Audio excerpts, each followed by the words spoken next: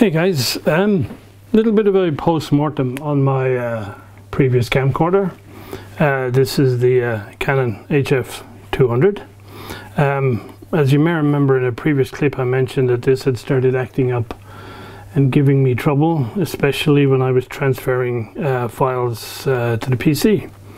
Um, so to uh, determine whether or not I could continue to use this at all, um, what happened the last time I used it is uh, um, I discovered that uh, it wasn't charging batteries anymore.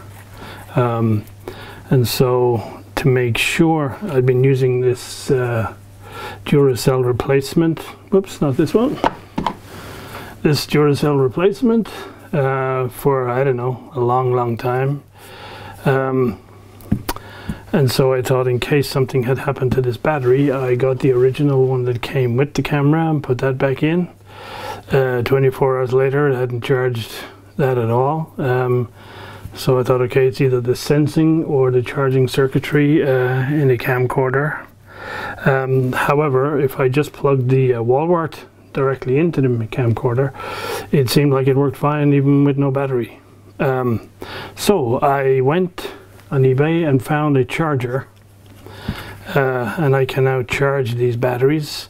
And when I put them in the camcorder it works fine. So uh, the only change I guess from my previous procedure is instead of charging the batteries in the camera I charge them in here. And since you have to have the wall wart connected with this particular camera before you can connect the USB it's probably just easier for me to take the the card, the memory card out and uh, transfer it directly to the PC like that. So um, I think that's basically good news. I think it means I'll get to continue to use this because um, it has a number of advantages over the one that uh, that I got to replace it, which is the one I'm using now. Um, so again, uh, this is the original camera and because I just have a monopod stuck on the side of my bench in order to get a reasonable field of view um, I just take a wide angle conversion lens on it. And that's been my stable setup since yeah I guess 2007 which is a long time so I guess I can't complain really. This thing has uh, served me well. Um, so what I'm gonna do is I'm gonna use this camera to show you a little bit about some of the uh, initial, let's say, uh, challenges in using the replacement uh, camcorder.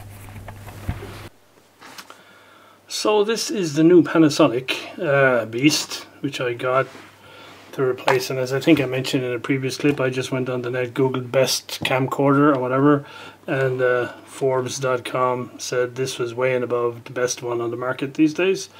So I thought, okay, why not? Let's get it. Um, First thing you'll notice is it's got the um, radio mic receiver on the top here. Um, because my first big problem with this is the audio quality. Um, it's got like this complex 5.1 uh, microphone thing here on the top.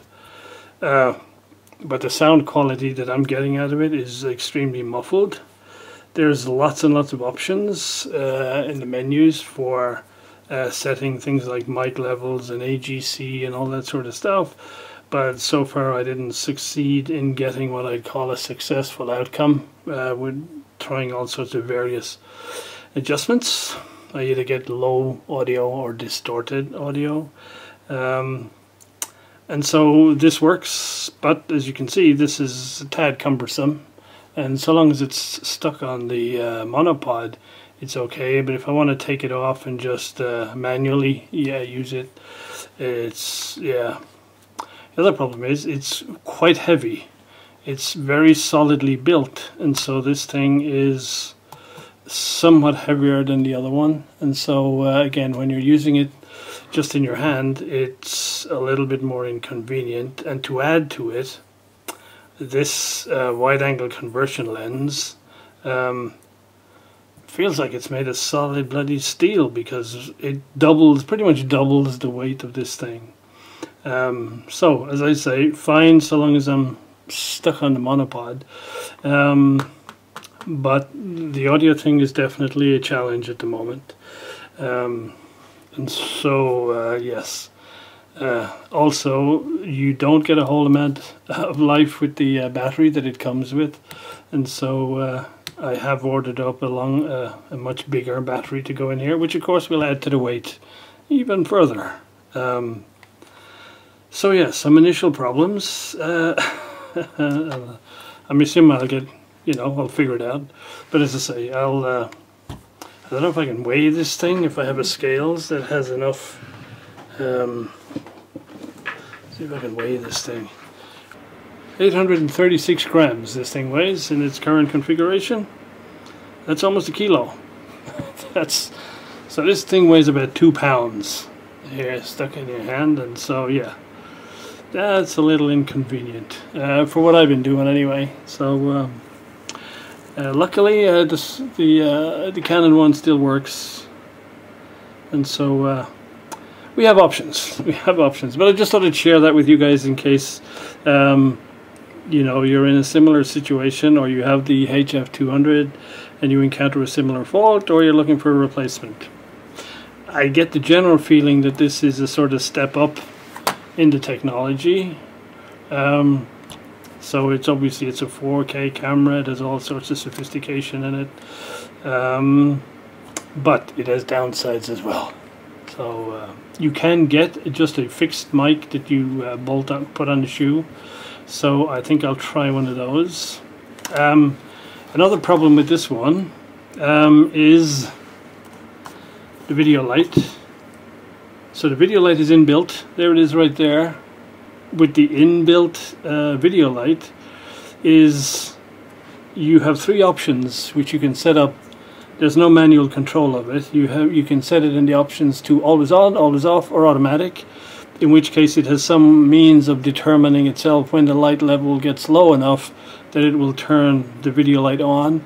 Um, in practice, I found that to be not didn't work really well because I'd be shooting something that was dark and it would have the light on and then suddenly the light would go out uh, and and of course you've no way of turning it back on except going into the options finding it in the menu and that, and so on. Whereas on the Canon there's a little button on the screen and you manual on manual off. It's like exactly what I need. So so um, if I stick you can of course get a uh, a video light that you stick on the shoe.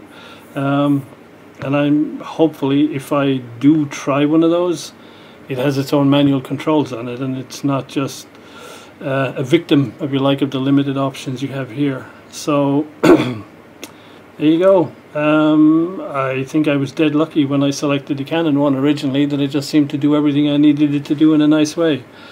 Uh, this one can probably do a lot more things with it uh, but there's also downsides. There you go guys, that's my experience. Um, obviously if you have any similar experiences with either camcorders like this or the Canon, I'd be interested to hear in the comments. Thank you guys, speak to you soon.